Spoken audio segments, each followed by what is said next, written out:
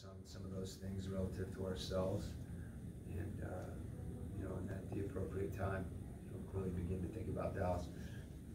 Focusing on ourselves to a large degree, um, you know, means uh, regenerating.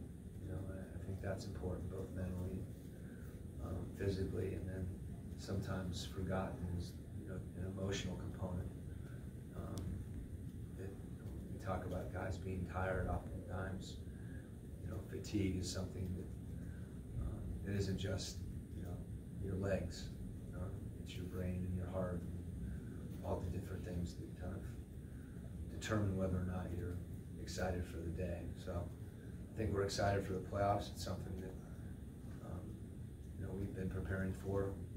Not to discount the regular season, but um, you know I, I mystery, particularly given you know last year.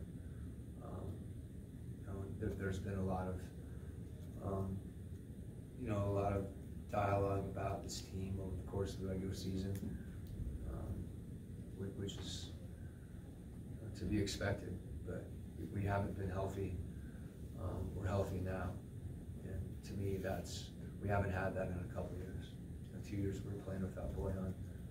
Know, last year Donovan, you know, wasn't 100%, and then we lost Mike for a good stretch. So some of that stuff you can't control, but I feel good about the fact that we're, we're where we are right now. Um, you know, and that, that we have a group, understandably, other than Trent, that, that is healthy going into playoffs. You know, hopefully that you know, stays consistent.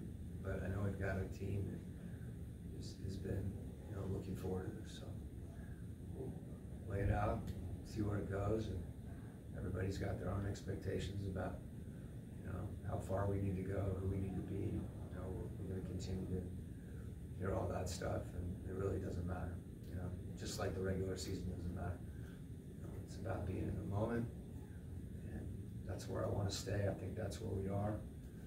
Um, you know, it's been challenging to do that at various times this year, uh, but I do believe we've been able to do it, think our team's better right now than we were a month ago.